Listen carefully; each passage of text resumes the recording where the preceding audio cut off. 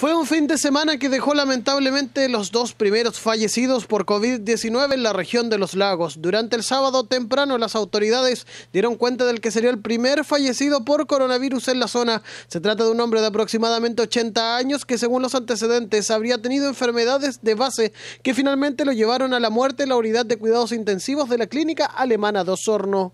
Él era un, es un adulto mayor que si bien no tenía ninguna patología de gravedad asociada, murió por causa específicas de eh, falla multiorgánica del COVID-19. Esto claramente para nosotros es, una, una, muy triste noticia, no solo por, porque hay un fallecido, sino porque quiere decir que estamos empezando con eh, la curva esperada en una patología como esta. Tenemos cada, cada día más casos, tenemos cada día más pacientes en hospitalización, de esta hospitalización tenemos también cada día más pacientes en UCI y ahora empezamos a tener también fallecidos. Aquí el llamado es solo uno.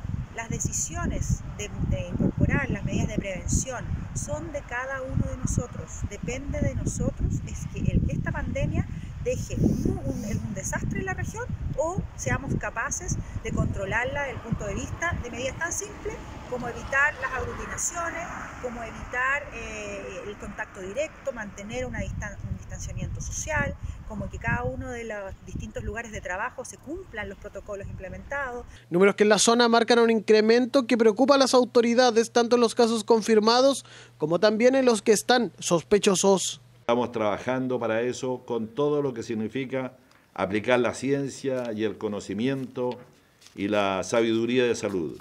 Los equipos estamos trabajando justamente para aquello.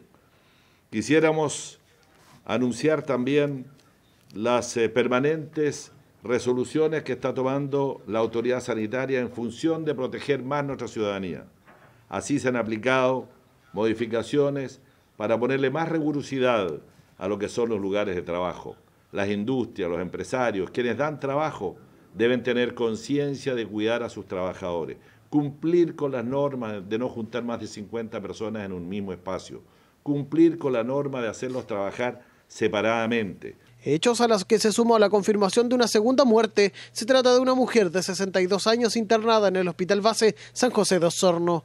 Además, durante la tarde del domingo, las autoridades dieron cuenta de dos casos positivos de COVID-19 en la isla de Chiloé, hecho que para las autoridades se traduce en procesos clínicos, insistiendo en que la apertura de la barrera sanitaria que se ha planteado tiene relación solo con los procesos de abastecimiento para la isla grande. Se confirman dos nuevos casos en la provincia de Chiloé. Se trata de dos casos en la comuna de Castro, de una mujer de 22 años y un hombre de 48 años. Ambos son familiares directos, quienes se encuentran en cuarentena domiciliaria con trazabilidad del caso. Nosotros vemos que es necesario generar una apertura a Chiloé para abastecerle a Chiloé y también para permitir el funcionamiento de su línea productiva.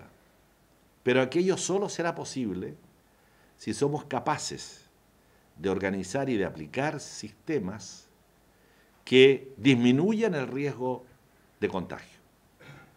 Es decir, todo es posible. Abrir también el cordón sanitario de Osorno es posible. Abrir la aduana regional es posible. Pero en la medida que le apliquemos más seguridad en cuanto a disminuir los riesgos de contagio.